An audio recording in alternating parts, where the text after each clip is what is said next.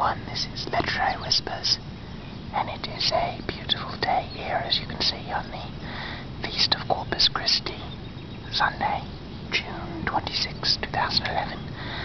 And it's such a beautiful day that I'm actually not going to do more Yeats, like I thought I was going to, but I'm going to do some more Gerard Manley Hopkins because uh, he's a bit more cheerful at times.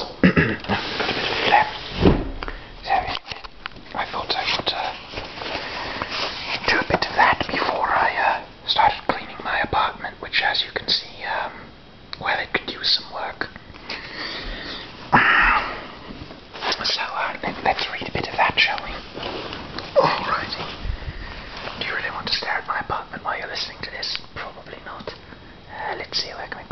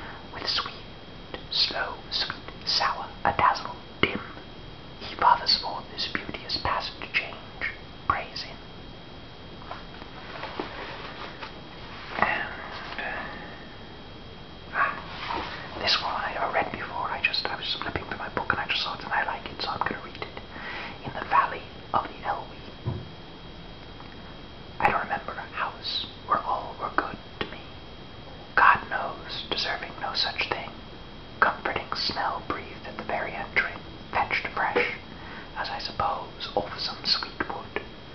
That cordial air made those kind people hoed all over, as a bevy of eggs in a mothering wing will, or mild nights in the new morsels of spring. Why, it seems, of course, seemed right it should. Lovely the woods, waters, meadows,